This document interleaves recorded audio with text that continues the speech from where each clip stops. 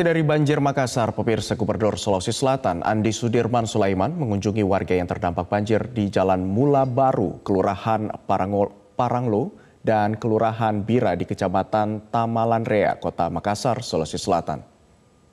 Gubernur bersama dengan Pangdam Hasanuddin, Majen TNI Totok Imam Santoso memberikan bantuan berupa bahan pokok serta perahu untuk mobilitas warga yang berada di lorong-lorong untuk menuju ke tempat pengungsian. Gubernur Sulawesi Selatan menyampaikan, saat ini terjadi cuaca ekstrim berupa hujan dengan debit yang besar serta angin. Hal ini diperparah karena pantai dalam kondisi pasang, yang juga mengakibatkan aliran air menuju ke pantai terhambat.